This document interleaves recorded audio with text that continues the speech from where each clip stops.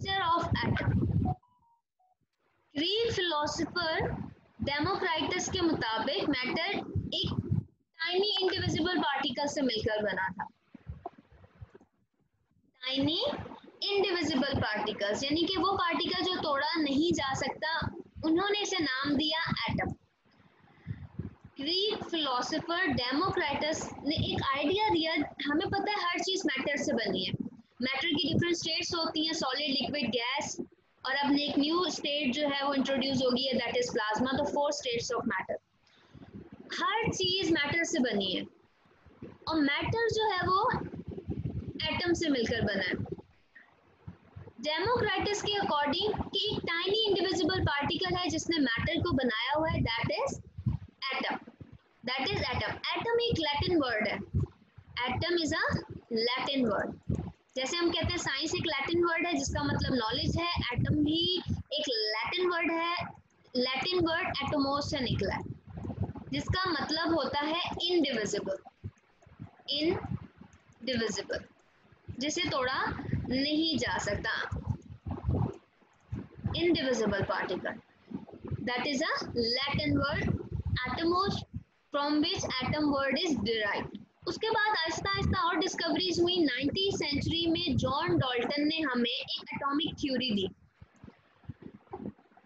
Nineteen century में John Dalton ने हमें जो एटॉमिक थ्योरी दी, उसके according all matter is made up of very indivisible particles called atom कि जितने भी मैटर है, वो एक स्मॉल छोटे से इनडिविजिबल पार्टिकल से मिलकर बने हैं, जिसे एटम कहा जाता है क्लियर फ़र्स्ट हमने डेमोक्राइटस की बात की ग्रीक फिलोसोफर की, उसके मुताबिक जो एटम जो है वो टाइनी इंडिविजिबल पार्टिकल से बना है एटम उसके बाद हम जॉर्ज डॉल्टन ने डोमिक थ्योरी दी, उसके अकॉर्डिंग सारे के सारे मैटर्स जो हैं वो एक इनडिविजिबल पार्टिकल से मिलकर बने हैं, जिसे एटम कहा जाता है. In the end of nineteen century nineteen century के एंड में एंड तक हमें नहीं पता था कि एटम टूट सकता है या फर्दर डिवाइड हो सकता है। नाइनटीन सेंचुरी के एंड तक इस बात की कोई, इस बात का किसी को कोई आइडिया नहीं था कि क्या वाकई एटम टूट सकता है या नहीं। नाइनटीन सेंचुरी के एंड तक सब यही सोचते थे कि एटम इनडिविजिबल स्मॉलेस्ट पार्टिकल है जो कि डिवाइड नहीं हो सकता। लेकिन in the beginning of twenty century scientist ने कुछ एक्सपेरिमेंट्स किए। अच्छा अब हमने पहले सबसे डेमोक्राइटस की बात की। परसेप्शन की बात की, उनकी डिस्कवरीज की बात की, उसके बाद हमने बात की जॉन डॉल्टन की। देन हमने बात की, ये तो एंड हो गया ना, इसके बाद नाइनटीन सेंचुरी अब हम बात कर रहे हैं ट्वेंटी सेंचुरी की, यहाँ पर आगे नाइनटीन सेंचुरी अब हम ट्वेंटी सेंचुरी की बात करें। ट्वेंटी सेंचुरी में डिफरेंट एक्सपेरिमेंट्स परफॉर्म किए गए गोल्डस्टीन ने किए। अब हम आगे आगे पढ़ेंगे कि इन साइंटिस्ट ने क्या एक्सपेरिमेंट किए थे, वो हम डिटेल में डिस्कस करेंगे। Goldstein J J Thomson Rutherford Bohr different scientist ने बहुत सारे एक्सपेरिमेंट किए जिसकी बेसिस पे हमें पता चला atom is made up of sub atomic particle twenty century में Goldstein J J Thomson Rutherford Bohr और बहुत से साइंटिस्ट ने जब डिस्कवरीज की तो हमें पता चला कि atom is made up of sub atomic particle atom is made up of sub atomic particles यानी कि एटम के अंदर और भी पार्टिकल्स हैं जिनसे मिलकर एटम बनता है। एटम सबसे छोटा इंडिविजिबल पार्टिकल नहीं है, इसके अंदर भी पार्टिकल्स होते हैं, ये ब्रेक हो सकता है।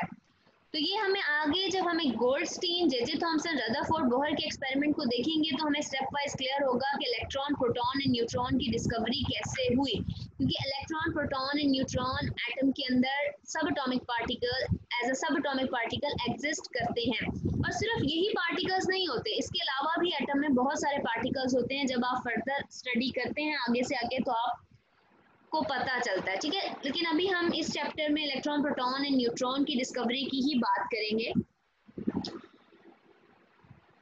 फ़र्स्ट अब हम नेक्स्ट मूव करते हैं। ये तो आपके चैप्टर का इंट्रोडक्शन है। हमने ये सारी चीज़ें पढ़नी है। Goldstein J J Thomson Rutherford Bohr इन सब के एक्सपेरिमेंट्स पढ़ने हैं। उसके अकॉर्डिंग हमने सब एटॉमिक पार्टिकल्स की डिस्कवरीज देखनी है। इनके इलेक्ट्रॉन प्रोटॉन एंड न्यूट्रॉन कैसे डिस्कवर हुए? स्टेप वाइज मूव करेंगे। फर्स्टली हम मूव करते हैं।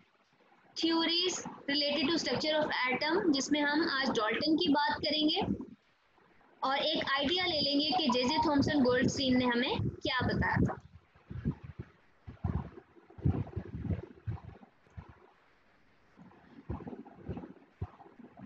जॉन डॉल्टन के according atom is indivisible hard dense sphere John Dalton के according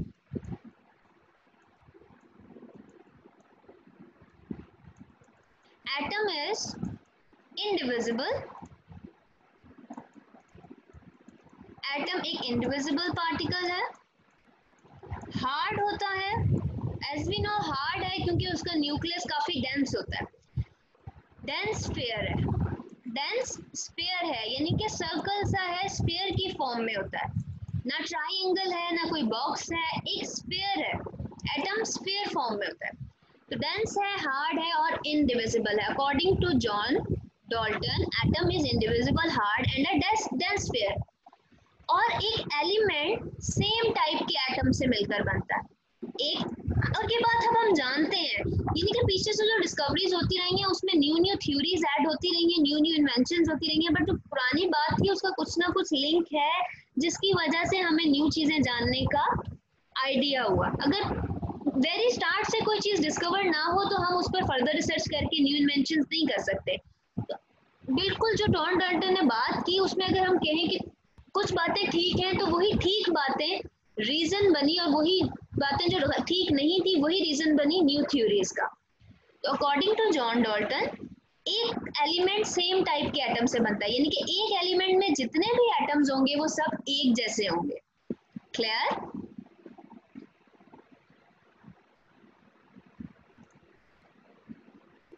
फ़र्स्ट जॉन डॉल्टन ने कहा इंडिविजिबल हार्ड और डेंस फेयर होता है एटम फिर जॉन डॉल्टन ने हमें बताया कि जो एलिमेंट्स हैं, उनमें सेम टाइप के एटम्स प्रेजेंट होते हैं। जो एटम्स हैं, इनका थर्ड पॉइंट अच्छा अब ये वन पॉइंट इसे कंसीडर कर लीजिए that is a point two कि सेम टाइप के एलिमेंट्स होते हैं, अब हम पॉइंट थ्री की बात करते हैं। According to John Dalton third point हम जो डिस्कस करें that is atoms combine in different ways to form compound atoms different way में कंबाइन होते हैं ताकि कंपाउंड्स फॉर्म करें। और हमें पता है ये बात ट्रू है, ऐसा ही है। H2O वाटर में एटम्स दो हाइड्रोजन के एटम एक ऑक्सीजन का एटम मिलके वाटर बनता है। अगर यही कंबाइनिंग चेंज हो जाए H2O2 हो जाए तो ये हाइड्रोजन पर ऑक्साइड है, ये वाटर नहीं है। क्लियर अगर कॉम्पोजिशन चेंज कर दी जाए एटम्स की तो कंपाउंड बनते हैं डिफरेंट कंपाउंड्स फॉर्म होते हैं। अगर मैं H2SO4 यानी कि इसमें ऑक्सीजन भी है हाइड्रोजन भी है बट एक मैंने सल्फ़र ऐड कर दिया है तो ये सल्फ्यूरिक एसिड है, यानी कि एक डिफरेंट कंपाउंड है। तो एटम्स कंबाइन होकर डिफरेंट कंपाउंड्स बनाते हैं। According to John Dalton atom indivisible है हार्ड है और डेंस फेयर है। और एटम में प्रेजेंट जितने भी एलिमेंट में प्रेजेंट जितने भी एटम्स हैं, वो एक जैसे होते हैं। और थर्ड पॉइंट जो हमें डॉल्टन जॉन डॉल्टन ने बताया, वो ये है कि एटम्स जो है डिफरेंटली कंबाइन होकर कंपाउंड्स बनाते हैं। और ये आपने जिन एग्जांपल से देख लिया है कि एटम्स की डिफरेंट कॉम्बिनेशन है एटम्स डिफरेंटली कंबाइन हो रहे हैं तो डिफरेंट टाइप के कंपाउंड्स बना रहे हैं। ये तो बात हो गई जॉन डॉल्टन की। जॉन डॉल्टन की थ्योरीज के बेस पर आगे बहुत सारे एक्सपेरिमेंट्स हुए। एक सीरीज़ ऑफ़ एक्सपेरिमेंट होते रहे एटीन सेंचुरी में नाइनटीन सेंचुरी में, और आहिस्ता आहिस्ता साइंटिस्ट ने डिस्कवर किया कि सब एटॉमिक पार्टिकल्स भी एटम के अंदर एग्जिस्ट करते हैं। तो जॉन डॉल्टन वो थे जिनकी वजह से साइंटिस्ट को ये सोचने का मौका मिला कि एटम क्या है? एटम को तोड़ा जा सकता है या नहीं जा सकता? अगर तोड़ा जा सकता है तो उसमें किस टाइप के पार्टिकल्स एग्जिस्ट करते हैं तो ये सब हमें जॉन डॉल्टन की वजह से पता चला है। तो जॉन डॉल्टन ने एक बेसिक काम किया है हमें एटम का स्ट्रक्चर बताने में तो ये बात बिल्कुल भी गलत ना होगी। नेक्स्ट हम आते हैं, इन 1886 में गोल्डस्टीन ने डिस्कवर किए थे प्रोटॉन्स को। बेसिकली गोल्डस्टीन ने पॉजिटिव पार्टिकल्स डिस्कवर किए थे। और गोल्डस्टीन ने उन पॉजिटिव पार्टिकल्स को नाम दिया था प्रोटॉन्स का। इन 1886 अच्छा ये जो ईयर्स हैं, ये आपको एमसीक्यूज में पूछे जाते हैं और आप जब लिखते हैं किसी एक्सपेरिमेंट वगैरह को भी तो आप जब इंट्रोडक्शन लिखते हैं साइंटिस्ट का तो उसमें आप ये लिखते हैं कि 1886 में ये डिस्कवरी हुई। तो ये चीज़ें आपको याद होनी चाहिए, इसका अच्छा इम्पैक्ट पड़ता है जब आप राइटिंग करते हैं। गोल्डस्टीन ने 1886 में प्रोटॉन डिस्कवर किया, यानी कि पॉजिटिवली चार्ज पार्टिकल्स के बारे में बताया, जिसे प्रोटॉन कहा जाता है। इसकी डिस्कवरी हम आगे डिस्कस करेंगे डिटेल में। उसके बाद हम बात करते हैं 1897 में जे जे थॉमसन ने हमें इलेक्ट्रॉन की डिस्कवरी के बारे में बताया। यानी कि इन्होंने बताया कि एटम के अंदर नेगेटिव चार्ज भी होते हैं। जे जे थॉमसन ने हमें नेगेटिव चार्जेस इन्होंने हमें पॉजिटिव चार्जेस के बारे में बताया, जिसे प्रोटॉन्स कहा जाता है गोल्डस्टीन ने। जे जे थॉमसन ने हमें नेगेटिव चार्जेस के बारे में बताया, जिसे कहा जाता है इलेक्ट्रॉन्स क्लियर इन दोनों की डिस्कवरी से हमें ये पता चला कि इलेक्ट्रॉन्स एंड प्रोटॉन्स एक फंडामेंटल पार्टिकल हैं, एक मैटर में, एक एटम में। इन दोनों की डिस्कवरी से, यानी पॉजिटिव चार्ज और नेगेटिव चार्ज की डिस्कवरी से हमें एक आइडिया मिल गया कि मैटर में एटम में एक फंडामेंटल जो पार्टिकल्स एग्जिस्ट करते हैं, वो इलेक्ट्रॉन्स एंड प्रोटॉन्स हैं। इसकी बेसिस पर जे जे थॉमसन ने एक थ्योरी पेश की, जिसे कहते हैं plum pudding theory plum pudding theory plum pudding theory हमें जे जे थॉमसन ने दी on the basis of proton and electron proton और इलेक्ट्रॉन जब डिस्कवर हो गए, एक नेगेटिव और पॉजिटिव चार्ज की जब डिस्कवरी हो गई तो जेजे थॉमसन ने हमें एक प्लम पुडिंग थ्योरी का आइडिया दिया. What is plum pudding theory अब हम इसकी बात कर लेते हैं, ठीक है? कि प्लम पुडिंग थ्योरी है क्या? Now we are going to discuss this plum pudding theory is that उन्होंने फॉर्मुलेट किया कि atom were solid structure of positively charge with tiny negative particle stuck in it इनके मुताबिक जो पॉजिटिव चार्जेस हैं, वो एक सॉलिड में एग्जिस्ट करते हैं, जिनके अंदर छोटे छोटे से नेगेटिव चार्जेस स्टक हुए हैं। According to J J Thomson according to his plum pudding theory इनके मुताबिक सॉलिड स्ट्रक्चर जो है, उसमें पॉजिटिव चार्जेस होते हैं, जिसके अंदर छोटे छोटे से नेगेटिव चार्जेस स्टक हुए होते हैं। जैसे कि पुडिंग के अंदर प्लम स्टक हुए हों। आप कोई पुडिंग बनाते हैं, अगर आप नट्स की बना रहे हैं, किसी फ्रूट की बना रहे हैं या प्लम्स की बना रहे हैं तो उस पुडिंग के अंदर प्लम्स का स्टक होना उसके अकॉर्डिंग इन्होंने एक थ्योरी दी प्लम पुडिंग थ्योरी उसके अकॉर्डिंग कि पॉजिटिव चार्जेस के अंदर छोटे छोटे नेगेटिव चार्जेस का स्टक होना। This is called plum pudding theory of J J Thomson ये स्ट्रक्चर कुछ ऐसा होता है। प्लम पुडिंग थ्योरी के मुताबिक सॉलिड स्ट्रक्चर कुछ इस तरह का होता है कि पॉजिटिव चार्जेस के अंदर छोटे छोटे नेगेटिव चार्जेस स्टक हुए होते हैं। ये हमें बताया जे जे थॉमसन ने। और ऐसा नहीं है, हम जानते हैं पॉजिटिव चार्जेस और न्यूट्रॉन्स तो न्यूक्लियस में होते हैं इलेक्ट्रॉन साइडों पर होते हैं। तो हमें ये बाद में पता चला। स्टार्टिंग में हमें ये बात नहीं पता थी। साइंटिस्ट सोच रहे थे, यानी कि जे जे थॉमसन ने ये सोचा कि एक हार्ड सा कोई स्ट्रक्चर है जिसमें पॉजिटिव चार्जेस हैं और उस पॉजिटिव चार्जेस के अंदर छोटे छोटे नेगेटिव चार्जेस स्टक हुए हुए हैं। That is plum pudding theory J J Thomson एक ब्रिटिश फिजिशियंस थे। और इन्हें नोबेल प्राइज भी मिल चुका है। अच्छा इस तरह की बातें एमसीक्यूज में आती हैं तो अगर आपको मैं बता रही हूँ तो इसका मतलब है आप इसे मेमोराइज कर लीजिए कि आपसे अगर एमसीक्यूज में पूछा जाए तो आपको पता हो।